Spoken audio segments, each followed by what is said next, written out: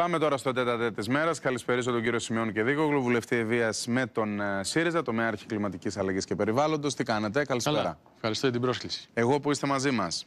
Ε, να ξεκινήσουμε λίγο από τα κεντρικά πολιτικά πριν περάσουμε στα δικά σας. Ναι, ε, νομίζω τον υπάρχει βλέπετε μια- να έρχεται τον εκλογικό νόμο το καινούριο; Κοιτάξτε, δεν ξέρω. Προφανώς είναι στι σκέψει της κυβέρνησης γιατί τα ακούω όλο και πιο συχνά να συζητιέται. Αλλά νομίζω ότι αυτές οι αλλαγές πρέπει πάντα να γίνονται στην αρχή για να υπάρχει, ε, εν πάση περιπτώσει, ένας ελεύθερος χρόνο, κυρίως για την επόμενη τετραετία. Όταν βλέπουμε ότι ανάλογα τη- τα ποσοστά, τι δημοσκοπήσεις κατά το δοκούν, αλλάζουμε τους κανόνες του παιχνιδιού, να το πω έτσι, στην πορεία, δεν είναι κάτι που είναι θεσμικό όπως θέλει να υπέρεται η κυβέρνηση ότι λειτουργεί μέχρι τώρα. Αλλά αν μου επιτρέπετε, επειδή τα εσωκομματικά μας μονοπολούν το τελευταίο διάστημα και δικαιολογημένα ίσως τις όποιες εμφανίσεις μας, ε, μονοπολώ λίγο το, το καιρό που κάναμε πραγματικά και αντιπολίτευση. Με όλα αυτά που γίνονται γύρω μας, θα ήθελα δύο-τρεις παρατηρήσεις. Χθες είδαμε ότι άνθρωποι κατέβηκαν από το σειρμό του ηλεκτρικού γιατί πήρε φωτιά, δεν είχαν καθαριστεί τα χόρτα από ό,τι μάθαμε στις γραμμές. Ναι.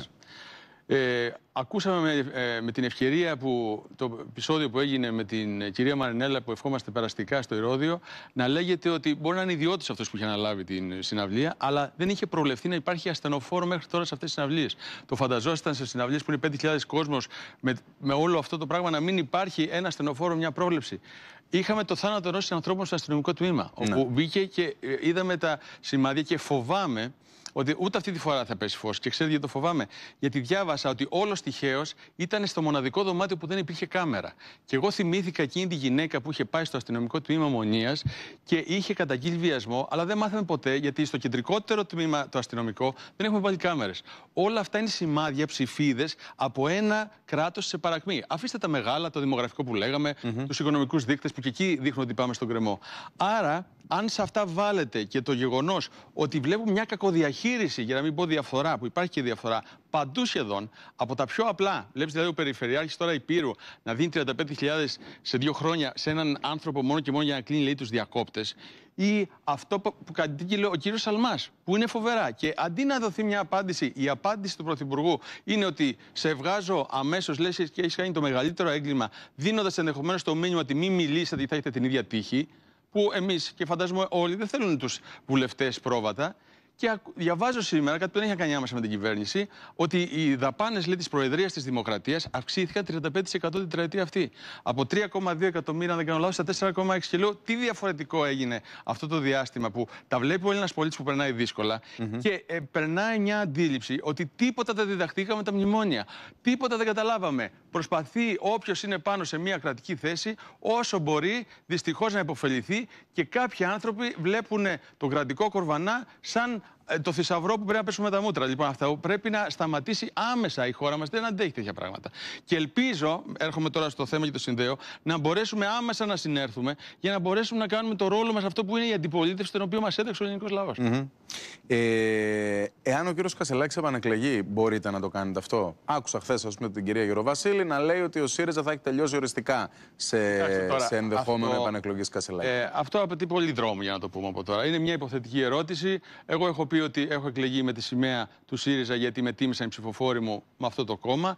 Από εκεί και πέρα, αν αυτό συμβεί, θα πρέπει να ρωτηθεί ο τότε πρόεδρος αν το δεσμεύουν η ιδεολογία μας, οι αποφάσει των συνεδρίων, αν θέλει να λειτουργήσει συλλογικά ή θέλει ενδεχομένως με τον τρόπο του να διώξει κάποια στελέχη. Άρα δεν είναι σε μένα το μπαλάκι. Εγώ γι' αυτό το οποίο οφείλω να αγωνιστώ και αυτό που θέλω να κάνω είναι καταρχήν να πάμε σε μια διαδικασία ήρεμα, χωρίς το φανατισμό που βλέπω το τελευταίο διάστημα, να πάμε συντεταγμένα και να επανέλθει η ουσία της πολιτικής έναντι της εικόνας.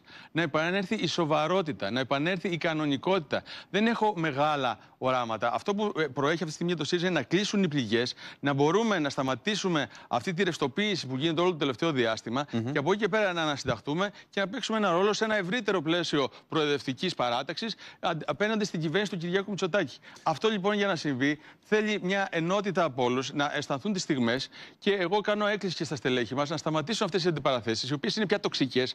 Το βλέπω και στο διαδίκτυο. Βλέπω έναν οπαδισμό, βλέπω μερικούς στα, στα όρια της θρησκευτικής αίρεσης και αυτό πρέπει να το χρεώσουμε τον κύριο Κασελάκη. Δεν υπήρχε στην αντίληψη της αριστεράς, ρωτήστε παλιούς συντρόφους, φίλους, σε συνέδρια, σε ε, παρέες που ήταν, σε αυτό που βλέπω, αυτή την. ε, δεν ξέρω γιατί. ε, γιατί είναι- μάλλον ξέρω. Η αιτία είναι δύο. Οι αιτίε για μένα είναι δύο. Πρώτον, έχει περάσει μια θυματοποίηση ο κύριος Κασελάκης και αν περάσει και αυτός στον τραγούδι κόσμο- τον κάνανε. Καλά, το τραγούδι αυτό, συγγνώμη, αλλά είναι στα όρια της γραφικότητας.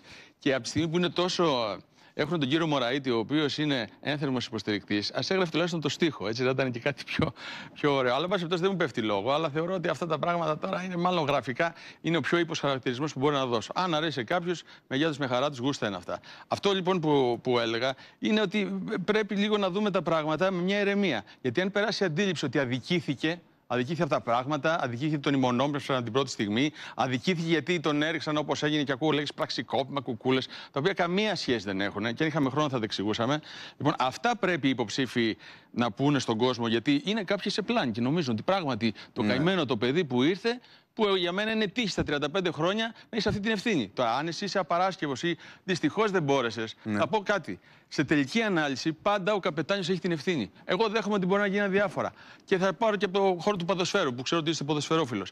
Φέρνουμε ένα προπονητή και από το εξωτερικό πολλές φορές. Και λέμε ότι η ομάδα θέλουμε να κάνει προγραμ... Ε, προ... Ε, πρωταθλητισμό, να πάμε καλά. Και ξεκινάει το πρωτάθλημα και έχεις μία ήττα, δύο ήττες, τρεις, μια ισοπαλία, πέντε. Και φτάνει και όχι απλά δεν πας μπροστά, πας πίσω. Και ο προπονητής αλλάζει. Και ο ίδιος μπορεί να πει ότι δεν με θέλαν κάποιοι παίχτες, το κλίμα στα αποδητήρια, η διαιτησία. Το αποτέλεσμα είναι το ίδιο. Λοιπόν, και στην πολιτική δεν υπάρχει ο άπλετος χρόνος δύο, τρία, πέντε χρόνια μέχρι να μάθουμε, μέχρι να πάρουμε mm -hmm. εμπειρίες. Είναι σκληρή η πολιτική. Και αυτή τη στιγμή είχε φανεί ότι δυστυχώς, δυστυχώς το λέω, γιατί προφανώς όλοι θέλουν να πάμε καλά, δεν υπήρχε μέλλον με αυτό που βλέπαμε. Που υπήρχε μια εικόνα ένα της ουσίας, όπως είπα στην αρχή. Ε, κύριε Κεδίκογλου, ε, επειδή μιλήσατε πριν για πραξικόπημα κλπ. Mm. Αν αυτά δεν τα πάρει πίσω Δηλαδή δεν αναγνωρίσει τη διαδικασία με την οποία εξέπεσε. Ναι. Το λέω γιατί ακόμα στα social media πρόεδρος ΣΥΡΙΖΑ. Δεν αναγνώρισε. Εγώ θυμάμαι ότι εκείνη τη μέρα έφυγε, ε, φύγανε συνεργάτες, το παρετήθηκε. Αυτό ξανά έγινε μετά από μερικές μέρες που υπήρχε. Εντάξει. Ναι, τέλος πάντων. Ναι. Μπορεί να είναι υποψήφιος αν δεν αναγνωρίζει τους όρους του παιχνιδιού. Το λέω γιατί διακινείται ένα σενάριο ότι, δεν θα, ότι θα πάει στο συνέδριο ναι. και θα επιχειρήσει να πάρει το συνέδριο. Mm.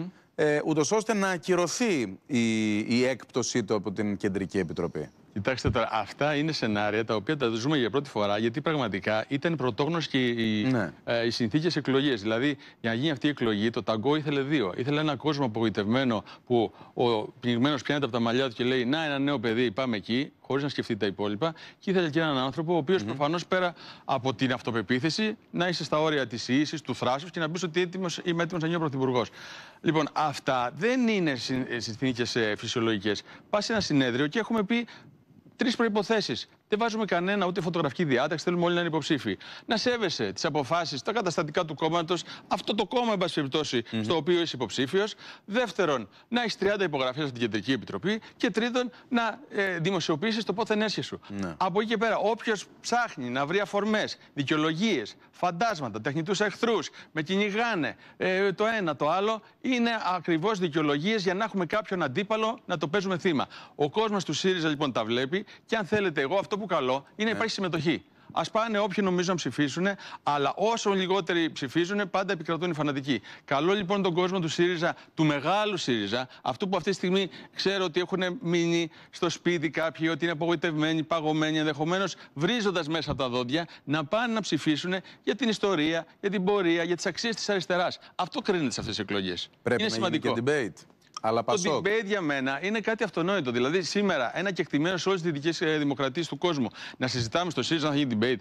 Μα κυρίως αυτό που πρέπει να προβάλλουν. Εδώ συζητούσατε για το αν πρέπει να είναι δημόσιο το πόθεν έσχε των υποψήφιων πρόεδρων. Το οποίο είναι αυτονόητο. Τώρα, αλλά... Και να πω και κάτι. Επειδή βλέπω πολλούς υποστηρικτές mm -hmm. του κυρίου Κασελάκη να διαφωνούν με αυτό.